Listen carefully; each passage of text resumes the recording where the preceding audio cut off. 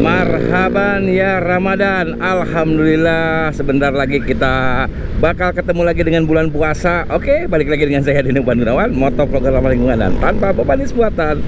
Aduh tiba-tiba kepikiran tuh tadi pagi ada tulisan Marhaban ya Ramadan. Nah saatnya saya memberi apa info ya buat teman-teman yang terutama berada di Purwakarta dan mungkin di luar kota juga mau ke Purwakarta juga boleh silahkan aja jadi karena mau masuk uh, bulan puasa, bulan Ramadan, biasanya tradisinya terutama di masyarakat Sunda di Purwakarta terutama. Jadi sering ada ini yang namanya munggahan ya. Oke, kali ini saya akan uh, ngomongin info tempat favorit munggahan di Purwakarta yang berhubungan dengan biasanya makan-makan bareng keluarga ya jadi botram gitu yang biasanya nggak pernah ngumpul sama keluarga juga tiba-tiba ngumpul kalau bulan mau bulan puasa Maya karena benar-benar bulan yang ditunggu-tunggu betul lah ya kenaon ya waduh pemotretan bos ulah di jalan atau bos power ah Oke, saya nggak akan ngomongin yang pemotretan. Saya mau ngomongin yang tempat favorit munggahan di Purwakarta ini yang sudah legendaris ya. Banyak sebenarnya, cuman saya mau sebutin yang bener-bener hits ya. Oke, biasanya di Purwakarta nyarinya kuliner sate marangi. Eh, lalu juga apa namanya itu rumah makan khas Sunda. Lalu apalagi eh, ikan bakar biasanya marangi, ikan bakar.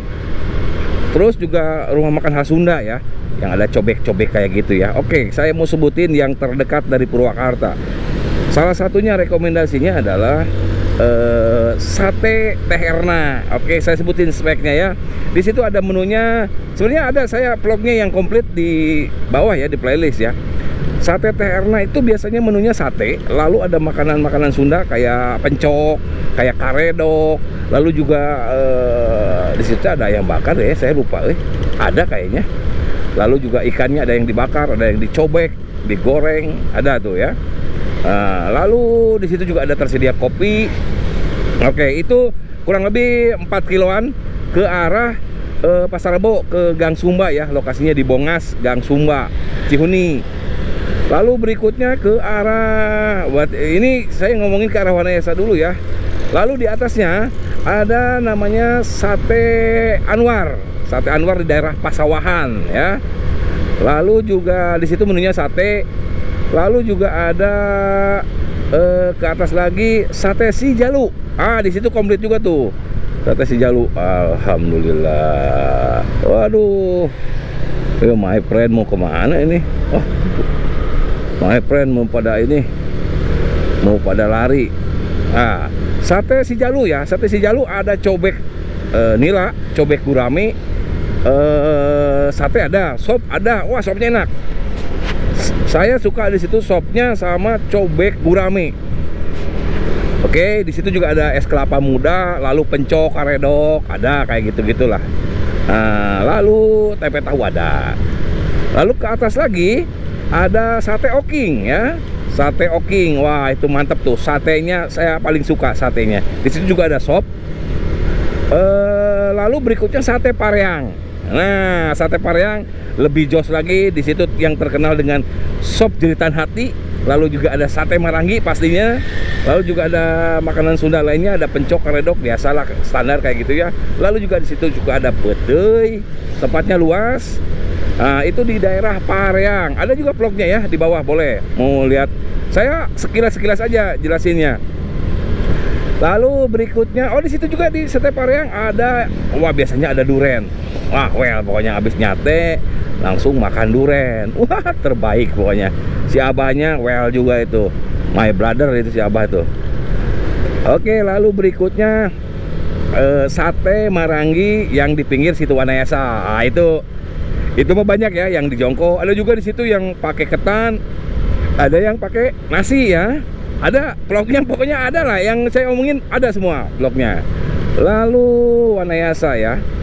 Itu sudah Wanayasa. Di sate garokek nah kalau garokek nggak tahu ada nggak tahu nggak. Itu ujung banget eh, dekat perbatasan Purwakarta Subang ya di arah Wanayasa.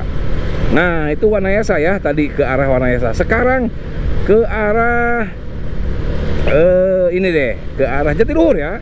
Ke arah Jatiluhur oh sorry. Di kotanya sendiri ada sate maskar ajib di daerah alun-alun. Ya alun-alun Purwakarta. Itu ada sate Maskar Ajib ya. Lalu ada rumah makan Sunda Neng Katineng. Ada yang di arah Jalan Maracang ke arah Maracang. Ada juga yang di Pasar Jumat. Lalu di sini ada eh, yang di daerah kota ya saya sebutin. Aduh lupa saya. Harusnya kota dulu ya yang di daerah kota sini. Nggak jauh-jauh di sini ada bubur aspur bubur mang ojan bubur mang deni. Nah ya ini nih di sini nih tempat nongkrong saya. Ada bubur aspur bubur mang deni. Nah ini ini aspur kalau malam bubur mang ojan. Lalu ada ketoprak di situ di GS lalu eh sorry kupat tahu di GS sama kupat tahu mang apai di teras hejo di sana di depan. Sebutin ya saya sebutin uh, kupat tahu mang apai di teras hejo lalu juga ada ketoprak pasar rebo. Nah ketoprak pasar rebo tuh wah terbaik. Lalu di sebelah kiri situ ada ayam bakar mangkus. Nah gitu di sisi ah mang bisi katabrak lain guna naon. Lalu di sini ada bakso mang alok mau nah ini mah yang yang light light ya yang nggak berat berat lalu di sini ada uduk mau malam ya lalu juga ada mie pondang. Nah sini ke kiri nih pasar Jumat itu sambal geol well. Lalu juga ada uh, tadi sate maskar ajib udah uh, nah ini teras sejo nih. Teras sejo tuh. Situ ada ya.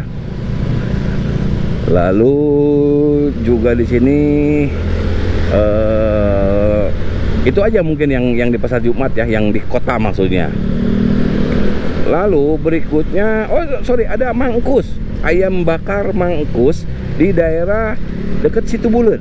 Nah, yang arah Jalan Gudang, cara ini Bojong, Malengah. Eh, Malengah Bojong bener. Nah, lalu di sekarang ke arah Jatiluhur ya, ke arah Jatiluhur itu ada di Sasak Besi namanya uh, sajolna ayam goreng sajolna ya. Di sesak besi. Di situ ayam goreng dan menu-menu Sunda. Ada pedak juga pedas saya wah pedas sebloknya. Ayam goreng sama pedas sebloknya terbaik itu saya suka sekali. Lalu di samping sebelah sananya masih ada sambal hijau sari rasa ya sebelah kiri yang deket sasak besi. Lalu ah jangan ke Jatiluhur ke arah Pleret dulu sekarang mah karena itu satu jalur. Lalu di depannya lagi di Ciganea ada ada Bapak Aing. Eh bukan ada Bapak Aing. Kok jadi ada Bapak Aing? Ada rumah makan Ciganea ya di keluar pintu tol Ciganea. Lalu berikutnya ada sambal hejo. Ah kalau Ciganea saya paling suka sambalnya guys. Wah bukan nama sambal sama menu yang lain enak. Cuman yang bikin saya ingat terus sambalnya tuh Ciganea tuh lalu sambal hejo sambal dadak SHSD sama di sampingnya rumah makan Ciganea di situ juga enak ayam gorengnya sama saya suka di situ um, cobek gurame yang airnya uh, seger banget. Nah itu saya suka tuh perkedelnya juga suka. Itu menunya ayam goreng ya. Lalu ke arah sana lagi ke arah Pleret ya. Di daerah Sukajaya daerah Citapen dekat Masjid Al Muhajirin di Citapen ya itu ada namanya eh ah saya lupa eh itu teh namanya apa ya? Oh rumah makan Citra sorry rumah makan Citra. Di situ ada cobek belut ada goreng belut ada peda ada ikan ikan cobek juga ada. Lalu sambalnya juga enak. Wah enak pokoknya mah ya itu rumah makan Citra di daerah Desa Sukajaya Citapen. Pokoknya ada vlognya ada juga di saya. Nah sebelah kiri barusan ada mangkus ya yang dekat pasar Jumat. Mangkus di situ jalan gudang. Ayam goreng enak itu. Lalu berikutnya udah banyak berarti yang saya sebutin ya. Kalian boleh nanti buat kata kunci pencarian aja itu. Karena saya nggak bisa satu persatu harus e, mengunjungi karena lokasinya nyebar lalu berikutnya uh, tadi sampai Citra ya sampai Citra. Lalu ada rumah makan Gandasari di, di Cianting yang yang enak. Karena kalau yang di Cijantung itu uh, kurang ini kurang lega tempatnya. Oh ada rumah makan Ciganea tadi ya. Yang di atas yang di dapur pusat. Rumah makan Ibu Haji Cijantung sorry. Ah, di atas di dekat stasiun Ciganea lalu maju lagi ada sate eh, Kampung Maranggi Pleret ya. Sate, Kampung Maranggi Pleret itu sate tuh Mang Pede langganan saya ya. Lalu ada rumah makan Bakakak Cibogo. Ah itu juga enak guys. Nah ke arah Citeko itu ada sate Bah Emen. Wah terbaik itu. Lalu ke arah sananya ke arah Ciratanya di buangan Cirata ikan bakar. Itu pusatnya ikan bakar di Cirata. Ya ada warung Teh Ina langganan saya di situ. Lalu tadi udah ke arah Cirata ya Pleret. Sekarang ke arah ini deh ke arah aduh ini ada wah ini nih ini ketoprak yang enak nih ini ini nih dasar rebo nih. Ah wah banyak ibu-ibu nanti saya ngeliling dulu. Saya sebenarnya mau cari eh, apa sarapan tuh lihat pakai celana jepit pakai celana pendek. Ah ke sini ah ke kanan ah. Jadi sambil ngonten aja kata siapa ngonten itu susah. Ya, oke. Okay. saya lagi bukan lagi ngomongin celana jepit ngomongin tempat ini. Favorit tempat munggahan. Sekarang arah Jatiluhur ya. Jatiluhur. Di Jatiluhur ada pepes Mahaji Ani, Bakakak Bu Ani. Ah, itu enak itu. Itu pepes-pepesan di situ terbaik, enak, nikmat. Yang datang ke situ juga gubernur, bupati, pokoknya mau sebagai sebagai banyak yang ke situ lah. Ya. Rumah makan Ibu Haji Ani, di situ ada bakakak dan pepes. Lalu berikutnya eh, ke arah sana di daerah Jatiluhurnya, di Waduk Jatiluhur wisata di situ banyak ikan bakar. Ada ikan bakar neng ina ada ikan bakar eh, payadi ya. Di situ banyak tuh ikan bakar ikan bakaran di wisata Jatiluhur. Lalu berikutnya ke arah Paranggombong Sukasari. Paranggombong ya. Di situ ada eh, ikan bakar juga. Banyak ya. Banyak ikan bakar di wisata Paranggombong Nah tadi peleret udah, Wanayasa udah. Sekarang ke arah mana? Oh ke arah ini, ke arah sawit Bojong ya. Di situ ada rumah makan sambal hejo sari rasa Yang di Cibentar, itu yang pusat ya.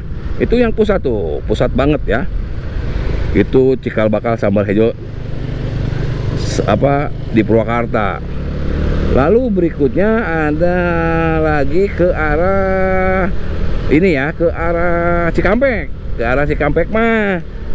Ya tak lain dan tak bukan adanya sate Marangi Cibungur ya. Nah mungkin itu aja tuh rekomendasi tempat eh, munggahan di Purwakarta ya. Mungkin ada yang kelewat silahkan bisa ditambahin di kolom komen di mana lagi yang lagi hits gitu ya.